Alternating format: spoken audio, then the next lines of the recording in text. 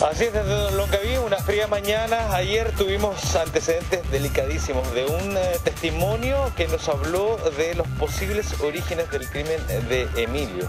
Estamos esta mañana con Margarita, ¿por qué? Porque hay puntos que son necesarios aclarar. Preguntar justamente por este conflicto que habría tenido un hermano de Emilio con eh, otra persona de acá del sector y que según el testimonio pudiese haber originado justamente el crimen de este joven de 12 años. Nosotros hemos preparado una nota porque no es lo único que ocurrió, sino que también la población entera se unió en una marcha cerca de las 20 horas, pero además en la tarde la familia tomó la decisión de caminar en silencio junto con sus vecinos. Las flores que habían sido entregadas a Emilio fueron justamente eh, dejadas en el lugar en donde fue encontrado, en el sector de los pozones. Vamos a compartir ese momento y luego estamos con Margarita para hablar justamente sobre los detalles del testigo que ayer nos habló. Lo que vamos a hacer ahora se hace generalmente en un programa de reportajes probablemente. Eh, por lo tanto, tenemos que tener el cuidado de que los antecedentes que vamos a conversar hoy día con esta persona que tengo frente a mí eh, son delicados y los vamos a estar hablando en un programa en vivo. Por lo tanto, tenemos que ser cautelosos, tenemos que escuchar otra versión de la historia en el ejercicio básico del periodismo. Un testigo que decidió hablar, un testimonio no conocido hasta ahora. Y yo asumo de que es parte de una venganza, que es un punto fijo, que claramente fue, obviamente todo lo que dicen dentro del panel, que fue eh, planificado, sí, pero con un solo nombre que es Emilio.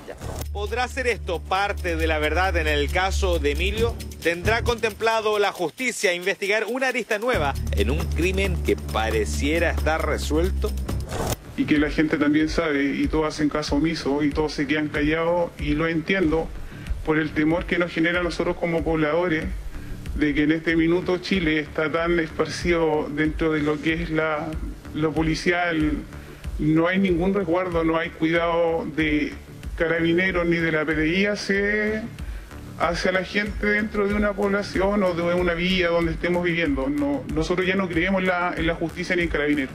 Por ende, mucha gente prefiere hacer lo que estoy haciendo yo, a lo mejor en silencio, detrás de cualquier cosa, porque si tuviéramos la posibilidad de que nosotros nos cuidaran o nos resguardaran como ciudadanos, créanme que a lo mejor mucho alzarían la voz, no solamente yo. Un crimen, una venganza, un conflicto previo que habría originado el ataque. ¿Podrá ser esto un antecedente verosímil? Hay ahora una información de último minuto. Eh, recibimos un contacto de alguien que hasta ahora no ha hablado. Que, nosotros hemos tenido conversaciones con, esta persona, eh, pero en privado. Y me acaba de avisar de que eh, se decidió a contar una parte de la historia que hasta ahora no hemos escuchado. En algún momento, cuando ustedes lo dispongan así, yo necesito trasladarme y poder juntarme con esta persona para justamente compartir ese testimonio. De esta forma nos informaba la fuente que había decidido contar su versión. Los conflictos previos, el supuesto tráfico de drogas poco denunciado en estas cuadras y el miedo, el miedo a decir algo que algunos comentan en silencio, pero nunca antes frente a un micrófono. Y resulta herido hermano Emilio, vuelvo a repetir, fue uno de los más perjudicados dentro de esa riña que hubo hace unas par de semanas atrás o o será pasado un mes. Y la persona que agredió al hermano Emilio en estos minutos está detenido. ¿Y esto sería entonces una vendetta por esa detención? Entendemos yo que está arriesgando varios años de detención por, por otros tipos de delitos. Está arriesgando varios años de detención por este delito y otros más que se le suman. Dentro de eso estamos hablando de, de cosas más pesadas como el tráfico. ¿Cuál es la vinculación de los dos sujetos que están siendo hoy día investigados por la justicia y este sujeto que está hoy día encarcelado? Porque dentro de lo que uno al pasar de los años o va conociendo a través de la historia, siempre el narco se ha hecho cargo de las personas más débiles. En este caso yo creo que para mí el más débil dentro de esto fue Emilio, por ende el tipo que está preso hoy en día, que, que peleó con el hermano de Emilio, eh, mágicamente es amigo del que hoy está detenido por la muerte de Emilio, que es el mayor. Un enfrentamiento donde uno de los hermanos de Emilio resultó herido, una pelea a cuchillos, justamente en la entrada del predio donde se le perdió la pista al niño.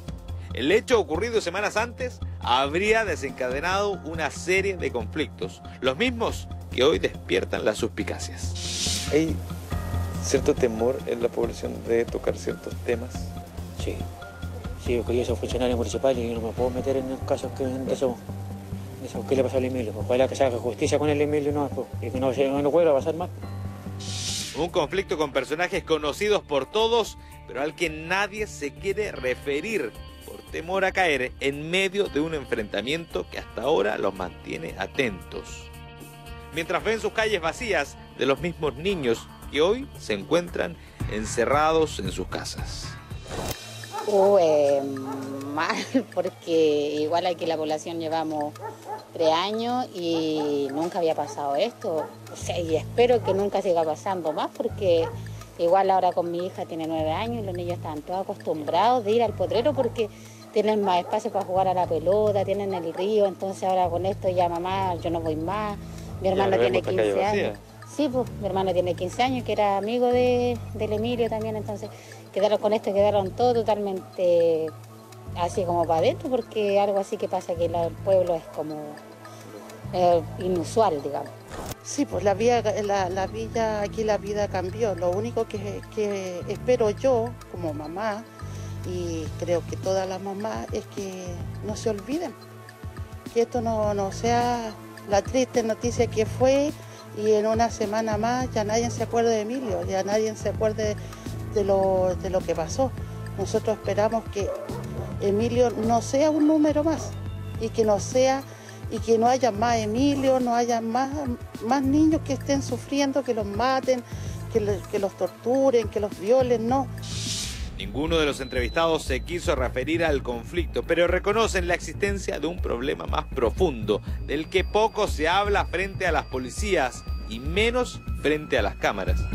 Pero un antecedente vino al recuerdo. Había sido 24 horas antes cuando una mujer de espalda, en medio de nuestra transmisión, nos había hablado de una versión que solo después entenderíamos. ¿Por qué fue, pensamos nosotros que fue planificado?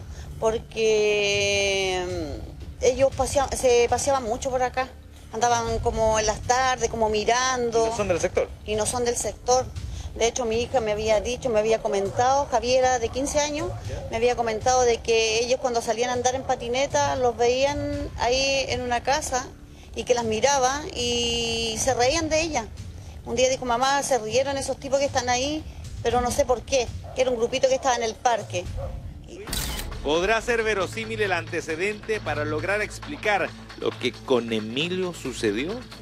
Repentinamente, lo que observábamos, estas calles vacías se repletaron por un momento de gente, son grupos de personas que se van trasladando con las flores para Emilio, en camionetas, a pie también, justamente al sector en donde fue encontrado. Es este sitio, el mismo camino que habría recorrido Emilio el día de su desaparición.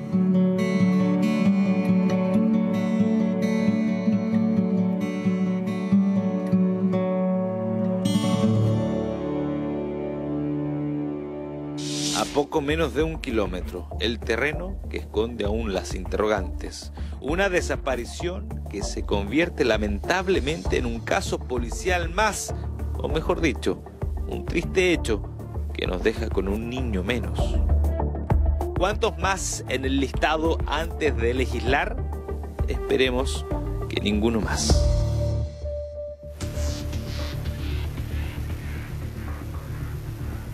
Rodrigo. Es probablemente ese apoyo, es eh, la comunidad la que está esperando justicia y la que espera justamente, como decíamos en la nota, de que no nos toque vivir una experiencia, un niño menos. En un caso que ha remecido no solamente a Longaví, sino que a todo el país. Hay muchas consultas que queremos eh, hablar hoy día con Margarita. Eh, fue este mismo lugar, el, el lugar, el sitio que recorrió Emilio, pero además el sitio del conflicto que hace alusión justamente testigo, que comenta como episodio eh, el origen ¿no? del crimen con Emilio. Cuéntanos dónde estamos. Eh, me imagino yo que eh, al día de ayer fue un día especial, mucho apoyo de la comunidad. Te queremos escuchar, primero saber cómo están como familia. Han pasado algunas horas ya. ¿Cómo, cómo estás tú? bueno, primero como familia no hay palabras para decir cómo estamos. O sea, estamos destrozados. Estamos cada día asumiendo más lo que pasó y haciendo más cerrado el círculo íntimo. Eh, ¿Qué fue la otra pregunta que me hiciste? primero saber cómo está la familia. Eh, ha sido una despedida muy masiva, pero además dolorosa y mezclado con la parte judicial, que es lo que más, yo me imagino, despierta la suspicacia, la, la interrogante en este caso. Eh, ¿Cómo está tu hermana? ¿Cómo está la madre? Mi hermana está con mucha pena, con mucho dolor, con mucha rabia, pero a la vez admiro su serenidad que tiene para llevar esto a cabo. Si no es fácil, porque a lo mejor ella en estos momentos lo único que quiere es estar sola para llorar su dolor y, hay tantas muestras de cariño que eh, se agradecen que tú tampoco puedes decir cómo, cómo pasar este momento porque nunca lo habías pasado. Eso. Mira, explicarle un poco a la gente, Margarita, dónde estamos. Si con Waldo podemos mostrar un poco este sitio que probablemente usted lo reconozca, ¿no? Es la entrada a este potrero, como le llaman, este sitio que, es por donde transitó Emilio. Pero además un sitio que ayer un testigo hacía referencia respecto de un conflicto. Hay una investigación hoy día, hay dos personas formalizadas por el crimen de Emilio hay antecedentes muy duros que han tenido que usted asumir como familia, pero además hay interrogantes respecto del móvil. Ayer escuchábamos a un testigo que plantea como móvil una situación de rencilla anterior, una situación de venganza. Ustedes escucharon esto, me imagino yo que se enteraron. Eh, ¿Cómo te tomaste primero esta, esta versión, Margarita? Eh, mira, eh, Rodrigo, nosotros no la escuchamos al tiro, la escuchamos después, eh, porque no coincidimos nomás. Pero cómo me la tomé, con un poco de angustia y de rabia. Por, ¿Angustia por qué? Me angustió ver a alguien hablando del tema sin... a ver, no, no, no tener base porque yo siento que sí, pues sí tiene base. ¿Hay e- parte de lo que dice que es cierto? Por eso yo estoy aquí. Eh, aparte de lo que dice que es cierto. Sí. O sea, sí, sí, hay parte. Ya, y hay otras partes que ustedes necesitan aclarar. Exactamente. O sea, que necesitamos aclarar eh, lo que nosotros sabemos. Ya. Yo no sé yo no sé si es posible, porque probablemente la gente no recuerde muy bien lo que, lo que dijo justamente este testigo. No sé si tenemos extractos de lo que dijo que podemos pasar a revisar, o simplemente yo les comento. Eh, no, sé, Tonka, Amaro, Sergio, me pueden ayudar ustedes para, para poder actualizar ¿no? A la gente respecto de, esta versión. Absolutamente. testigo. Hay un compacto, justamente, eh, lo podemos revisar con la gente para que entendamos, ¿no? Para que pongamos las cosas en orden y vayamos analizando las declaraciones. Me parece.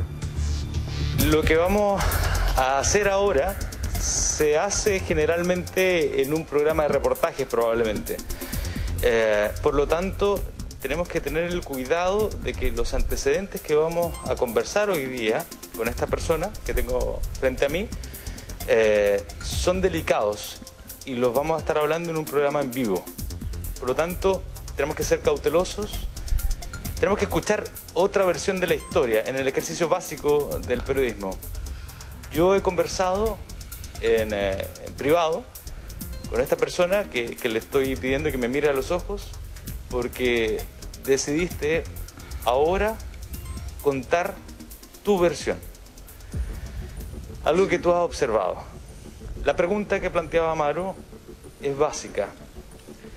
¿Pudo haber sido Emilio pudo haber sido otros niños, tu historia al menos tiene una dirección clara. ¿Qué es lo que tú sabes? ¿Qué es lo que tú crees? Yo creo que era Emilio. Un ataque directo a Emilio. A él niño. Sí. ¿Por qué? porque no es primer muchacho, no es primer niño que entra al potrero, no es primer hombre ni es primera mujer. Va mucho a visitar al potrero, va gente de hecho de pin y muchas veces al potrero. Y en alguna oportunidad eh, hubieron algunas rencillas con familiares de Emilio y este tipo precisamente, uno de ellos, que es el mayor, es amigo de alguien que está detenido en estos minutos, que está en la cárcel de Linares y yo asumo de que es parte de una venganza, que es un punto fijo, que claramente fue, obviamente todo lo que dicen dentro del panel, que fue eh, planificado, sí, pero con un solo nombre que es Emilio. ¿A qué te refieres con esta rencilla? Si me lo puedes hablar de manera bien general, para, para no caer eh, justamente en, en detalles muy específicos hace una semana o, pasado de un mes atrás hubo una pelea en esta villa. Eh, varios supieron de esa pelea, hay varios que han callado esa pelea, hay gente que a lo mejor sabe mucho más de esta pelea y se ha quedado un poco en silencio. ¿Qué tipo de pelea? ¿Una cosa de palabras, de puños? ¿Qué? Puño, alma blanca, eh, palo. ¿Alguien resultó herido? Sí, resultó herido en este caso el hermano de Emilio. Y entonces eso es lo que generaría, según tu testimonio, un conflicto que eh, es el origen de lo que ocurrió con Emilio. Eso es lo que entiendo, ¿no? Sí. De hecho, hay unas vecinas del sector que ellas se dieron cuenta tiempo atrás, unos días atrás, que este tipo estaba precisamente en el predio donde están los kiwis, haciendo un llamado eh, telefónico vía video, un video llamada, y preguntando si ese era el potero, si ese eran los pozones. Y mi pregunta es si él tenía todo premeditado con su pareja, ¿a quién estaba llamando? ¿A quién le estaba preguntando si era el potero? ¿A quién le estaba preguntando si eso eran los pozones? Rodrigo. A la persona que tú interpretas justamente que está hoy día encarcelado. Es un, un conflicto, una pelea en donde alguien resulta herido. Sí, resulta herido hermano Emilio, vuelvo a repetir fue uno de los más perjudicados dentro de esa riña que hubo hace unas par de semanas atrás o, será pasado un mes, eh, donde varios vecinos saben que ocurrió esa pelea. A lo mejor muchos vieron esa pelea y todos están guardando silencio. Y donde el hermano Emilio salió más perjudicado y la persona que agredió al hermano Emilio en estos minutos está detenido. ¿Y esto sería entonces una vendetta por esa detención entendemos yo que está arriesgando varios años de detención por, por otros tipos de delitos. Está arriesgando varios años de detención por este delito y otros más que se le suman. Dentro de eso estamos hablando de, cosas más pesadas como el tráfico y que la gente también sabe y todos hacen caso omiso y todos se quedan callados y lo entiendo por el temor que nos genera nosotros como pobladores de que en este minuto Chile está tan esparcido dentro de lo que es la lo policial, no hay ningún resguardo, no hay cuidado de carabineros ni de la PDI hacia, hacia la gente dentro de una población o de una villa donde estemos viviendo. No, nosotros ya no creemos en la, en la justicia ni en carabineros. Por ende, mucha gente prefiere hacer lo que estoy haciendo yo, a lo mejor en silencio, detrás de cualquier cosa, porque si tuviéramos la posibilidad de que nosotros nos cuidaran o nos resguardaran como ciudadanos, créanme que a lo mejor muchos alzarían la voz, no solamente yo. Y aquí todos sabemos que dentro de esta villa hay cosas que están pasando y cosas que son eh, inusualmente malas. Malas para los hijos que vienen recién creciendo. Estamos hablando de jóvenes de 10 años, 11 años, 12 años. Y así para arriba. Y el tráfico se está viendo a menudo y está escrito y plata. Y todos saben, todos saben que se está traficando dentro de esta villa. La vinculación dentro de este tipo que está detenido hoy en día es porque él trafica, él vende. Él no es primera vez que está detenido. Ellos tienen, poseen de una abogada que ellos entran y salen a los dos o tres días, eh, sin importar lo que ellos tengan que pagar. Y este último hecho fue la pelea con, con el hermano de Emilio, y fuera de eso, atribuirle a eso, ya le hicieron un allanamiento en su casa en el cual fue encontrar armamento, droga, eh, y hablamos de coca, marihuana. Explíqueme algo. ¿Cuál es la vinculación de los dos sujetos que están siendo hoy día investigados por la justicia y este sujeto que está hoy día encarcelado? Mayor es amigo del que está hoy en día detenido. Y ahí establecer entonces el por qué finalmente la familia de Emilio es singularizada. ¿Por qué? ¿Qué vinculación tendría, verdad, o qué, qué vinculación tendrían como víctimas del narcotráfico? ¿Por qué la figura de Emilio? Porque dentro de lo que uno al pasar de los años o va conociendo a través de la historia, siempre el narco se ha hecho cargo de las personas más débiles. En este caso yo creo que para mí el más dentro de esto fue Emilio, por ende el tipo que está preso hoy en día, que, que peleó con el hermano de Emilio, eh, mágicamente es amigo del que hoy está detenido por la muerte de Emilio, que es el mayor.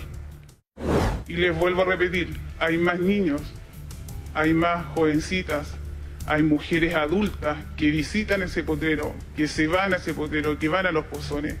¿Por qué, Emilio?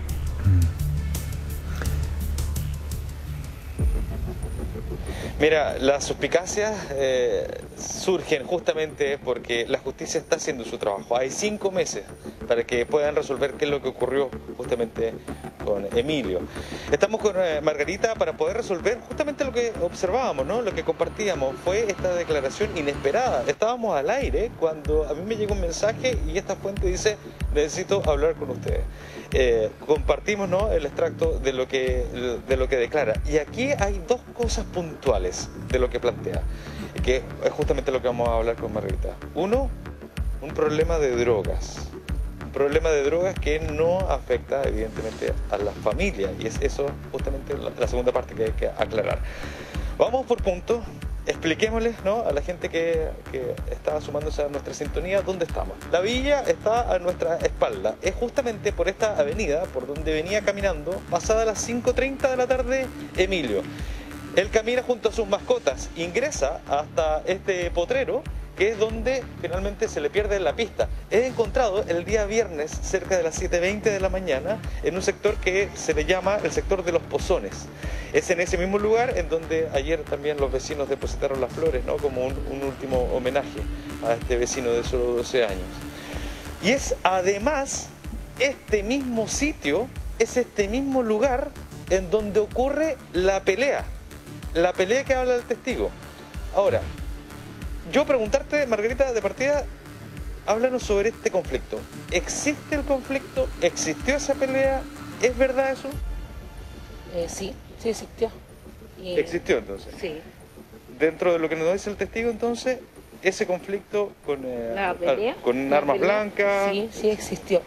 Cuéntenos, aquí, aquí mismo ocurrió, ¿no? Sí, aquí. Aquí en este, en este proyecto que yo no tengo exactamente, sé que aquí, porque aquí todos los de la Villa, los, mis vecinos, todos supimos.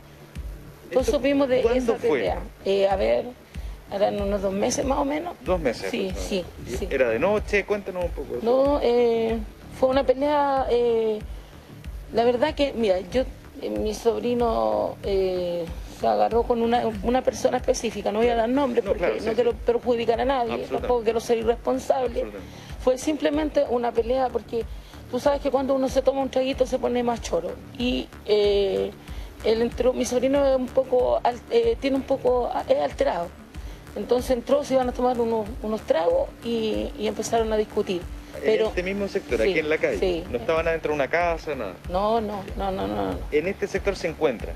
En este sector se encuentran. Pero no quiero darte detalles, pero... No te preocupes, si no quieres dar Pero, eh, o sea, se encontraron en este sector, discutieron, mi sobrino se enojó, eh, empezaron a discutir, empezaron a salir los palos y listo, le pegaron, porque el otro gallo era más fuerte. ¿Resultó herido? ¿Resultó herido? Sí, resultó herido, resultó eh, con una puñalada en su mano, que lo tuvo en, sí, que lo tuvo en el, ¿cómo que se llama? En el, lo tuvo en el hospital.